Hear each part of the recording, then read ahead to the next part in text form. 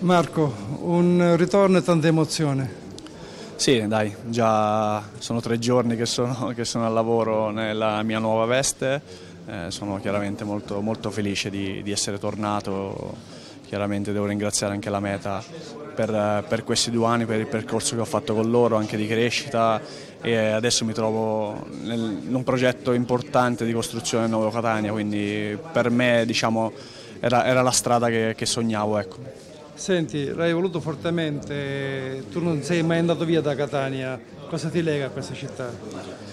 Ma sono, sono tanti anni ormai che vivo qua, che, che, che, vivo la città, che vivo la passione che c'è de, della gente, al di là poi del calcio. Eh.